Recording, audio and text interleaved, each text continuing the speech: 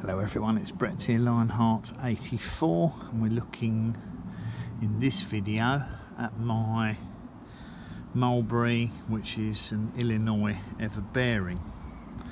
Um, now it's got a lot of fruits on it this year but actually the fruits, a lot of the fruits are extremely small and very dried out because we haven't had any rainfall. And I've tried to kind of water to keep the plants hydrated in pots. It's not easy and we're probably uh, close to having a, a hose pipe ban already incredibly which is just insane here in June.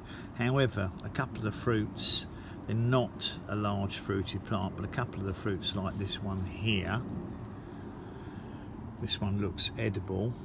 It is one of the larger ones because unfortunately a lot of them are, are very small and very dried out. So I'm just going to taste this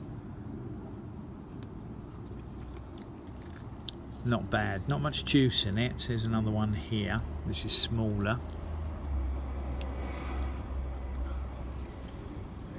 Yeah unfortunately still got the juice in that gives you the red fingers. But unfortunately the fruits are very small.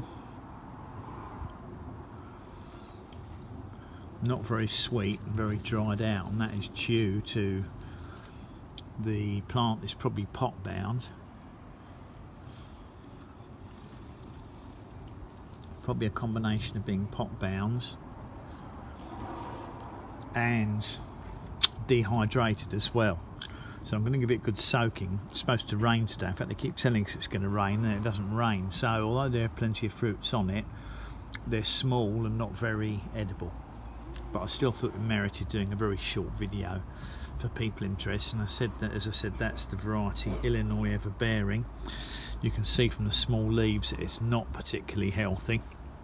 That is due to as I said lack of nutrients probably and lack of water. And I just wished that we'd get some of the rain they keep promising me. But uh, in any case that's uh, that's life. You can't uh, can't control the weather even in our country it can be very unpredictable but at least it is still producing and I thought uh, I thought I'd just show you on video but they're not really worth eating unfortunately. Thanks for watching. Please give me a thumbs up. Welcome to uh, of course share the video. Please subscribe to my channel. And remember to uh, click on the bell to get updates on new videos when they come out. Catch up with you all soon. Brett out for now.